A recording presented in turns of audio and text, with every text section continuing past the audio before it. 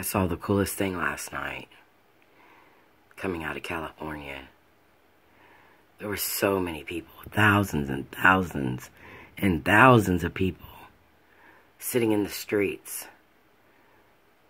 on the sidewalks, in the parks, sitting in circles, sitting close,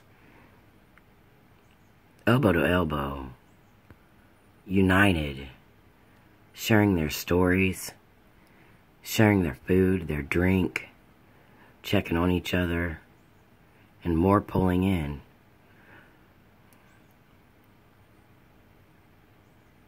That's what we need to see.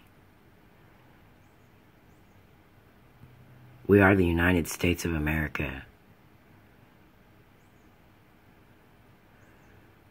And all jokes aside, you know that we have to lead by example. And uh, there's something else. The countries that are out there that have our backs, our backup, in case we need it. And even if we don't, they're there because they're sick of it too. Everybody's starting to stand. Me, I've been standing my whole life. I've been doing this all along. And now I'm just sitting back, watching, observing. It's like working really hard and finally seeing the fruits of your labor. I never lost hope. I thought I was going to there for a minute. We don't need to hurt people. We don't need to let those people that are using the situation to commit crimes. Mm-mm.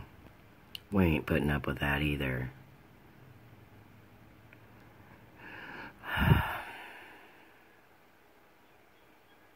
so proud.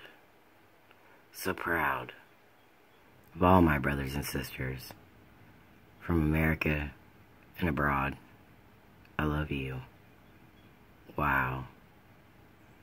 I've seen so many cool things in my lifetime. Nearly 50 years. And I predicted this, if you go back in my videos, uh, a couple weeks ago, maybe four weeks ago, if that. I was singing a song that I was channeling as I was getting out of the tub. You know, there's something happening here. What it is ain't exactly clear. You can go back and look for it, it's there. And then George, a few weeks later, the title of another video. And there's a few more things that I saw. I saw death. I saw chaos. But I also saw a coming of age, a change, unity, people sticking together, people saying enough is enough, people waking up. God, it's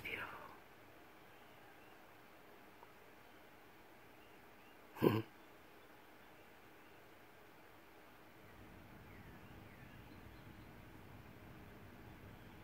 Wow. That's all I can say. Stay strong. Persevere. There's movement. I love you.